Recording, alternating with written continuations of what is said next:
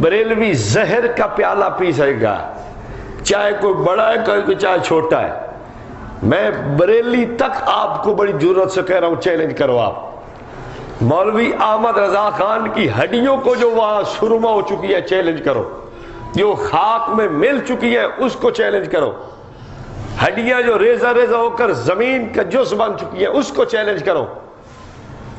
कि अगर किसी रजा खानी हलाली में ज़रूरत है हरामी की हम बात नहीं करते। हलाली रजा खानी अगर किसी रजा खानी हलाली में ज़रूरत है, पाकिस्तान नहीं, हिंदुस्तान नहीं, बांग्लादेश नहीं, श्रीलंका नहीं, इंग्लैंड नहीं, हम सारी दुनिया के बरेलवियों को नहीं, हम बरेली शरीफ तक सारे बरेलवियों को चैलेंज करते हैं।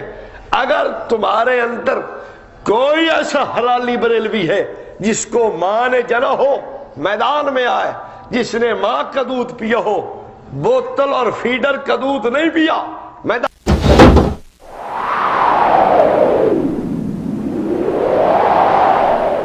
हाँ एक बात। अबू अयूब कादरी साहब कोट शाकिर की बात यहाँ की की कि वहाँ सियालवी ने मोबाइल का चैलेंज दिया था।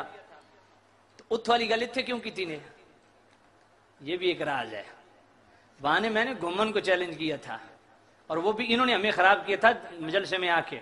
मैं कहा, यार मुनाजरे बहुत हो गए वो मेरी सीडी मौजूद है, नेट भी मौजूद है।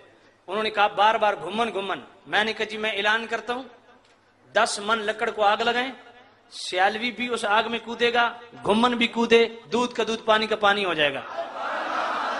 और आज मैं कैमरे पे कह रहा हूँ, अबू अयूब कादरी, अगर तू हलाल की औलाद है तुझे सियालवी चैलेंज कर रहा है। आने से पहले मैंने किबला सैयद, पीर तरीकत राहबर सैयद, हमारे अहल सुन्नत की शान आन, सैयद रियाजुल हसन शाह साहब से आते हुए मैंने बात की कि मैं आपकी सरपरस्ती में ऐलान कर दूँ, कहा, कर दें। उन्होंने फरमाया जिमें मर्ज़ी, उंज ही कर दे। तो मैं उंज पे कर दा कि अबू अयूब कादरी, मेरी तरफ़ से मैं ऐलान करके जा रहा हूँ। सैयद रियाजुल हसन शाह साहब सरप्रस्ती करेंगे। तुम अपना बंदा दो, जगह मुकर करते हैं तो मेरा चन आ, दस मन लकड़ अग लेने जब मैं अपने प्यू का पुत्र तो मैं बिच कुछ समझ, तू अपने प्यू का पुत्र तू खुद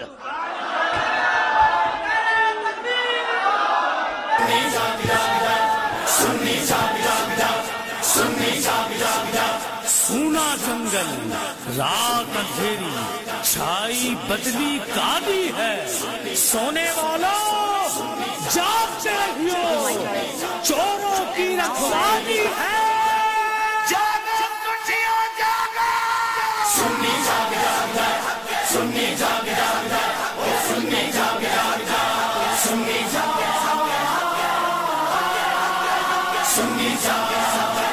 जाग जाग जाग। सुन्नी जा ओ जा जाग जा सुन्नी जाग